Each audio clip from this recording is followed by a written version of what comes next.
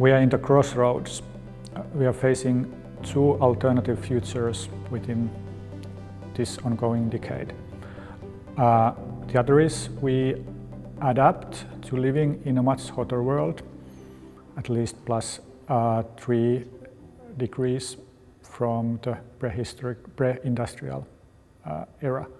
Or we uh, will be able to phase out fossil fuels and mobilize huge amount of money in the magnitude of, of 100 trillion, which is 100,000 billion euros within the next 10 years to tackle climate crisis and other sustainability challenges.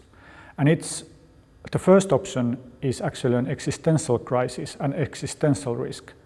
Uh, the other option is transformative risk. And this is actually a question uh, which path we will choose. Either of these options will be reality in 2030.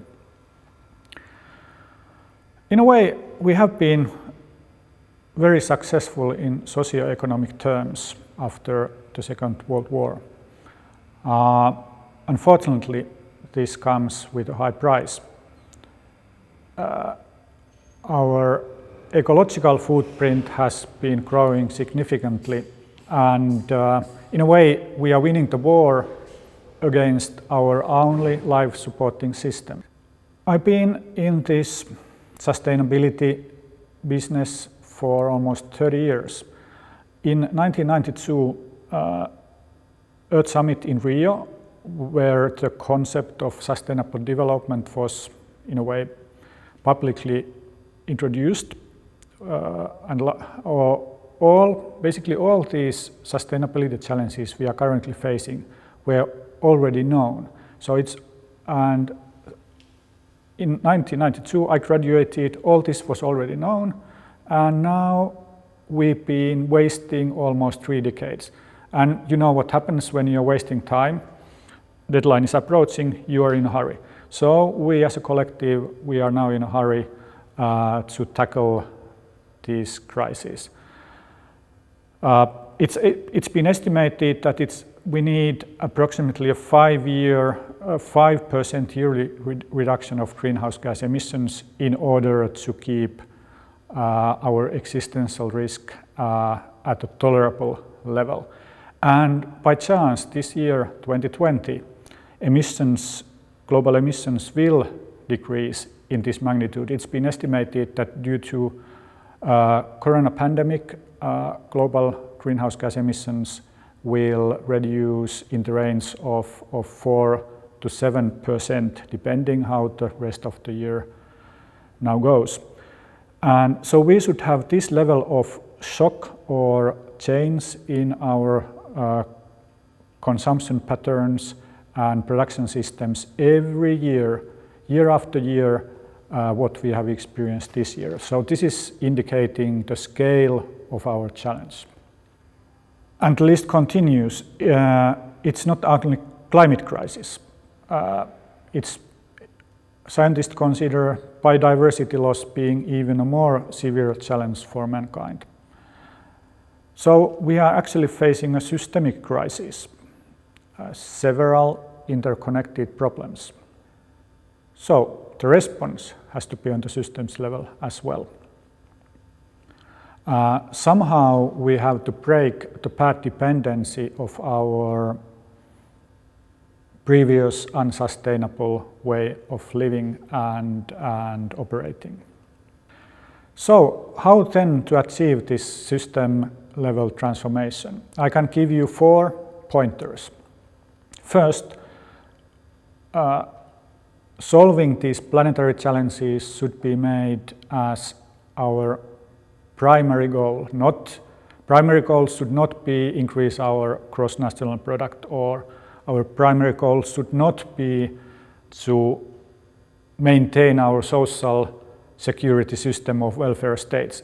All these are important topics, but uh, the guiding principle, leading principle for decision making should be that we are now living in Anthropocene, the geological era of a human, and we should be able to reduce our impact on environment and reduce our use of natural resources. Simultaneously, uh, making wise economic choices and improving social standards globally. Second, we must collaborate. This is not only a governmental business. This is not an issue only for uh, global or national uh, companies. This is not an issue of, of individual consumers or, or citizens. All levels of society need to act into the same direction, even though it, it's clearly apparent that there are also forces which think that this kind of thinking is not desirable. So there are competing social blocks, and we have to find a way to collaborate even in this kind of, of polarizing situation.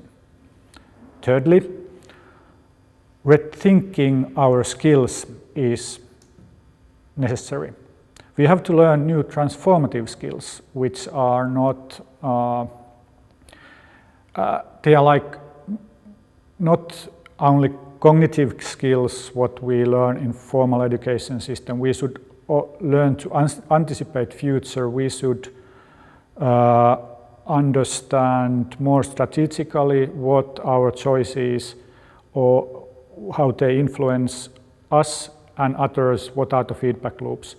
So there is uh, a new learning, continuous learning, uh, which we have to somehow solve in so all sectors of society.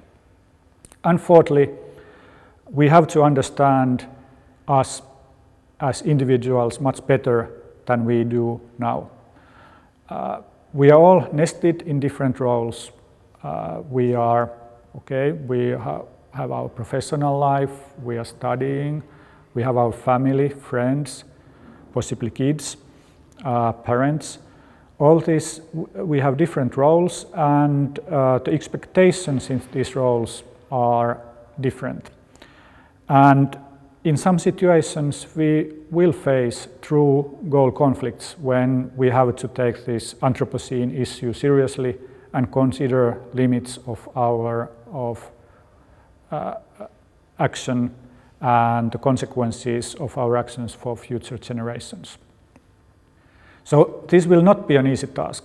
Um, I can give you a long list of paradoxes.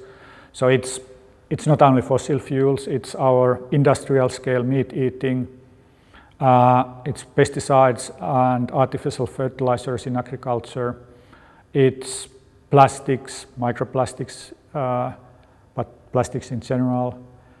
It's all the perverse subsidies society is providing for uh, industries which threaten our life supporting systems. Uh, believe it or not, it's also slavery uh, today we have more slaves in the world than uh, we used to have when the slave trade uh, from Africa to America was at its peak.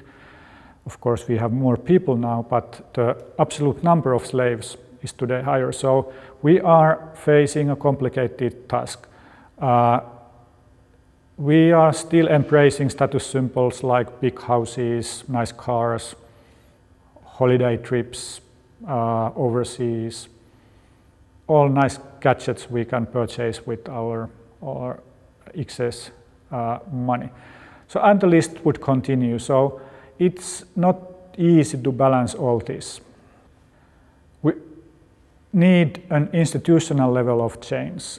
It's our not only education system, not only political system, not un only our, understanding on market economy, it's also media. It's, all, it's also our cultural norms which have to change. And all this change should, in a way, within these institutions happen uh, parallel. It's not enough to change only one subsystem, you have to change all. Uh, they should be, e so the change should be equally fast and maybe an utopian thought, it should remain democratic so all voices will be heard. So let's face the challenge and uh, see what we can do in, during the next 10 years.